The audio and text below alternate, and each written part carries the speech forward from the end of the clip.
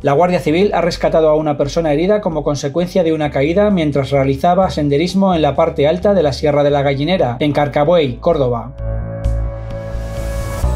Tras un aviso a la Central Operativa de Servicios de la Guardia Civil de Córdoba en el que se informaba del suceso, se estableció rápidamente un dispositivo de rescate por parte de una patrulla de la Guardia Civil de la localidad de Carcabuey y una dotación de bomberos de Priego de Córdoba, debido a las altas temperaturas que había en ese momento.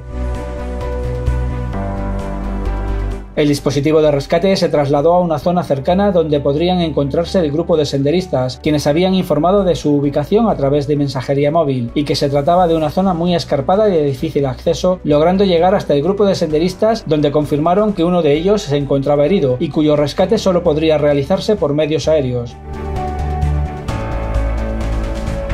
Por dicho motivo, efectivos de montaña y de la unidad aérea de la Guardia Civil se desplazaron al lugar realizando la evacuación y posterior traslado del herido al Hospital Infanta Margarita de Cabra.